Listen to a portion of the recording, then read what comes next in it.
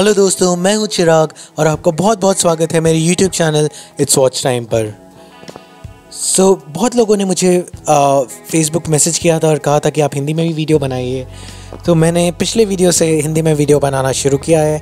तो अब मैंने डिसाइड किया है कि मैं अपने हर वीडियो को इंग्लिश और हिंदी दोनों में रिलीज़ करूँगा और आप चाहें तो इस इस वीडियो को जाके इंग्लिश में भी देख सकते हैं।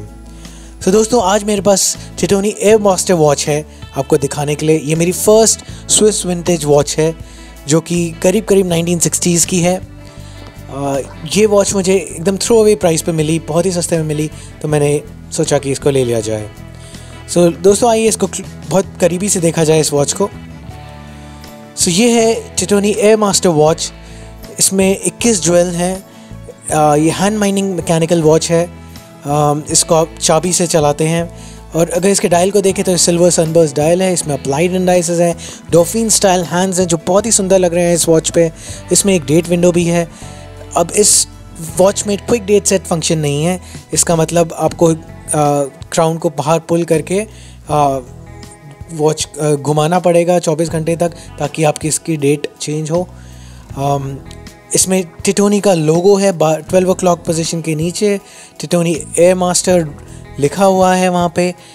ऑल्सो आप देखें तो सिक्स ओ क्लॉक पोजिशन के ऊपर ट्वेंटी वन जूल फ्लेक्स लिखा हुआ है। ट्रीटोफ्लेक्स इनका शॉक प्रूफ मैकेनिज़्म है।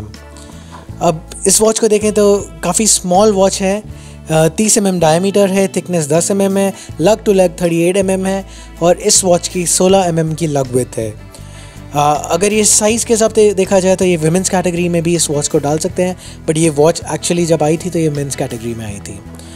सो so, अगर आ, इस वॉच के केस बैक को देखा जाए तो केस बैक पे लिखा है Titoni air master stainless steel case back ये स्विस मेड है और इस वॉच में ऑल्सो एक डोम क्रिस्टल है।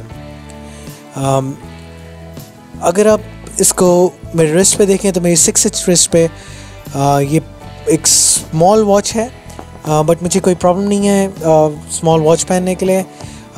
It's it's a good watch अगर ये 34 या 36 सिक्स mm होती तो मुझे और अच्छा लगता बट देन फिर भी ये अच्छी लग रही है। ऑल्सो मैंने इसको एक अच्छे से सिंपल से ब्लैक लेदर स्ट्रैप पे रखा है जो मुझे काफ़ी अच्छा लगा।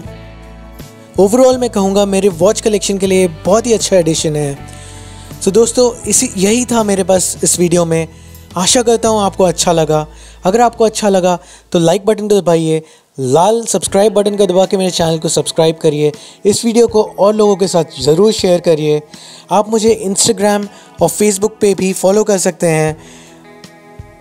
इंस्टाग्राम और फेसबुक हैंडल मेरे डिस्क्रिप्शन बॉक्स में मिल जाएँगे। सो बहुत ही बहुत धन्यवाद आपका ये वीडियो देखने का। आपसे मैं जल्द ही मिलूँगा दूसरे वीडियो में। तब तक के लिए गुड बाय